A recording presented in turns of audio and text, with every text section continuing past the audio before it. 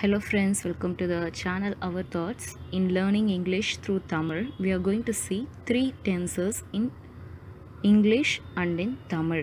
Both the languages we are going to learn three tenses. First, past in English. In Tamil, kadanda kalam. In Tamil, kadanda kalam. Next, present in English.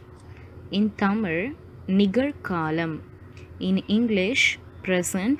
In Tamil, நிகழ்காலம். Future in English. In Tamil, எதிர்காலம்.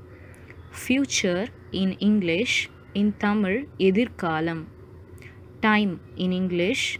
In Tamil, காலம் அல்லது நேரம். Time in English.